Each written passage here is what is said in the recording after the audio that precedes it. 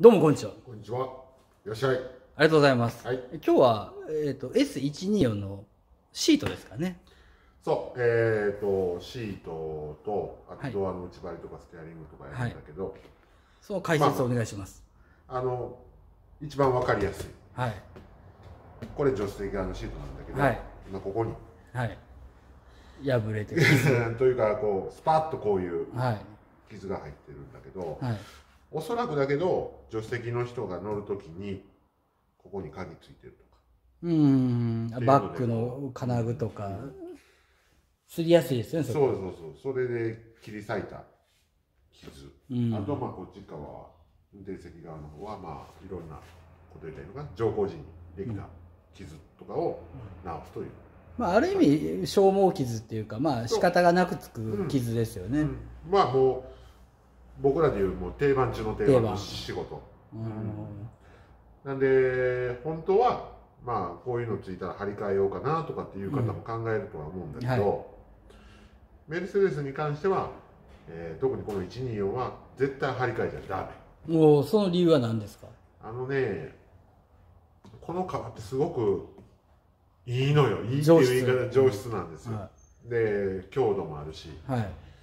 えー張り感もあるし、うん。うん。あのー触り心地もいいし、うん。やっぱりバブル機のお金かけて作られたものだけあって、そうそう張り替えるもんではないんですよね。うんあと、この中に入ってる、まあ、あの、クッション材というか、はが、今のものではないもので作られてるんで、い。はい。うん、この皮しかダメっていうところ若干あるよね。ああ、そういうのもある。うん、ここにな普通のスポンジ状のウレタンを入れてっていうのは、この車には合わない。その乗り心地の良さとかも全部含めるとこの表皮の本側はもう絶対に大事にしていきたいという、そう、そのためのリペアをこれから施工されるということそうです。特にこの124の時代はそうだったってことですか？うん、この次ぐらいまでかな、ギリギリ。うんじゃあ今の例えばメルセデスはどうなんですか？今のメルセデスの本側やったらそんなにもう顔も変えればって感じですか？表うんあまあ正直言うの、うん。はい。な何の価値もない。まあまあ職人前さんのね プロの目から見たらそういうこと。だからこの頃はやっぱり作り込みが良いということですね。まあ今の革って、うん